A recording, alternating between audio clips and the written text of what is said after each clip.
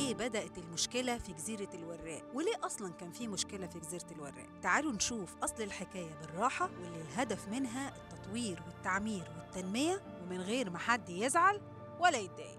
أنتوا عارفين الجزيرة دي كانت زي بقية أرض مصر الطيبة اللي بتدي الخير لولادها. لكن الزحف العمراني والنمو العشوائي فضل يزيد ويزيد بمعدل 23 فدان بيروحوا مننا كل سنة. متخيلين؟ 23 فدان بيتدمروا كل سنة وينعدم خيرهم ويتزرع مكان الخضار والخير. أسمنت قبيح وخرسانة أقبح وطوب أحمر في شكل كتل من العشوائيات.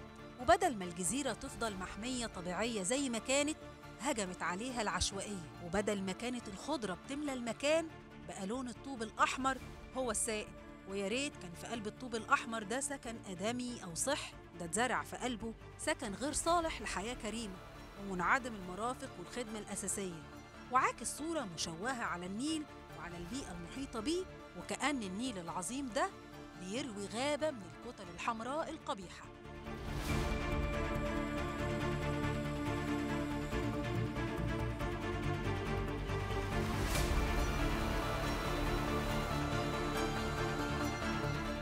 الدولة فكرت تطور المنطقة وتعيد الجمال للنيل وللجزيرة اللي كانت محمية طبيعية في الأصل وتخلي جزيرة الوراق رئة ومتنفس لكل المصريين. جزيرة الوراق مساحتها 1295 ونص فدان بما فيها مساحة أراضي النحر. فيها 5956 منزل مبني بالطوب الأحمر على مساحة 190 فدان. المساحة اللي في حيازة هيئة المجتمعات العمرانية 888 و65 من 100 فدان. يعني أكتر حاجة بسيطة من 71% لو استبعدنا أراضي النحر. الدولة هتبني 94 برج فيهم 4092 وحدة سكنية. يعني في وحدات سكنية هتتبني للناس ولما الدولة بتقرر تطور منطقة عشوائية المسألة بيكون ليها قواعد وإجراءات تضمن حقوق الناس وفي نفس الوقت تضمن حق البلد في مظهر حضاري. يعني المسألة لا هي طرد ولا تهجير ولا كلام خزعبلي من اللي بيقولوه. الدولة حطت مبدأ الشراء الرضائي للناس وحطت بدائل مختلفة للسكان علشان يختاروا الأسلوب اللي يناسبهم ويرضيهم. يعني المسألة مش عافية ولا إجبار. وزي اللي حصل في مشروع مثلث ماسبيرو بالظبط. وديكوا شايفين اللي كان عايز يرجع رجع. وكمان كان في تعويضات خاصة بالمباني وتعويضات تانية خاصة بالأراضي الزراعية. التعويضات الخاصة بالمباني بتتم عن طريق تقييم المنازل دي قبل التطوير. طيب إزاي هيتم تعويض المواطن؟ أولاً بنحسب تمن الأرض إضافة لتمن المنشأة إضافة للتعويض 16 ألف جنيه عن كل غرفة ساكنة. مش بس كده الدولة أتاحت 867 وحدة سكنية مفروشة مجاناً وبسعر مخفض في مدن العبور وحدائق أكتوبر ومطار إمبابة للي عايز. والساكن من حقه يختار المكان اللي هو عايز ينتقل ليه. نيجي بقى للتعويضات الخاصة بالأراضي الزراعية.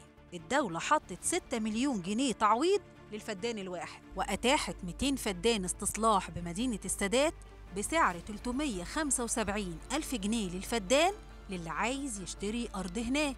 يعني تمن الفدان الواحد في جزيرة الوراق بيساوي تمن 16 فدان في مدينة السادات. وده مش كلام ولا فض مجالس. ده إجراء حصل فعلا وبيحصل دلوقتي للسكان في جزيرة الوراق. يعني إيه الكلام ده؟ يعني في ناس اتعوضت فعلا من سكان ومزارعي الجزيرة. عددهم كام الناس دي؟ 4145 حالة كانوا بيزرعوا 832 فدان بقيمة 5 مليار جنيه.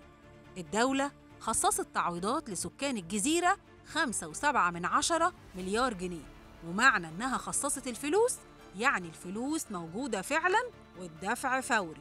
ومفيش حد هيقولك فوت علينا بكرة يا سيد. وحجم التعويضات المخصصة للأراضي المبني عليها 5 مليار جنيه. وحجم التعويضات المخصصة للمباني 600 مليون جنيه لعدد 2034 منشأة. منهم 111 مليون تعويض اجتماعي.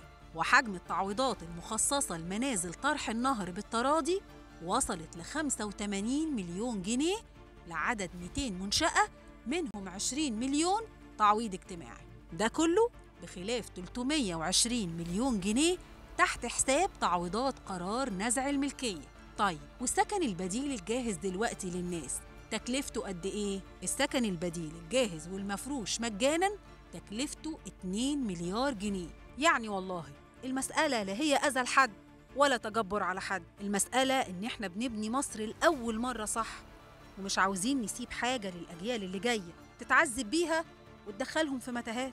الدولة لما طلعت قرار نزع الملكية رقم 37 لسنة 2021 واللي كان بيشمل 100 متر يمين ويسار محور رود الفرج و30 متر كورنيش حول الجزيرة كان غرضها ترجع صورة مصر جميلة زي ما كانت وغرضها توقف العشوائيات اللي معذبة أهلها وبتضر بقية المصريين. نزع ملكية حرم محور رود الفرج كان الغرض منه إننا نعمل مساحة إجمالية 91 فدان للأغراض القومية وهيتم نقل ملكية 66 و36 من 100 فدان وعدد 329 منزل من إجمالي 550 منزل. أما حرم الكورنيش اللي عرضه 30 متر حوالين الجزيرة فده هيكون مساحته 85 فدان. هيتم نقل ملكية 55 فدان بنسبة 65% وبعدد منازل 350 منزل. وتم بالفعل نقل ملكية 131 منزل بنسبة 38% اوعى حد يفكر إن الدولة بتحارب مواطن في بيته أو لقمة عيشه. أبدا. ده بالعكس. كل المصاريف اللي اتصرفت واللي هتتصرف دي هدفها الأول إن كل مصري يفتخر ببلده وإنها ما تكونش أقل من أي بلد تانية. ممكن يكون في ناس مش واصل لها الفكرة دي وهي معذورة. وده لأن في ناس بيحولوا كل فكرة جميلة لأزمة. علشان عاوزين مصر عشوائية عاوزين مصر تفضل صورتها قبيحة رغم إن الجمال مصري والحسن مصري والأصل مصري. بكرة تشوفوا جزيرة الوراق دي هتبقى إيه؟ هتبقى بتعبكم وجهدكم وصبركم أجمل مكان فيك يا مصر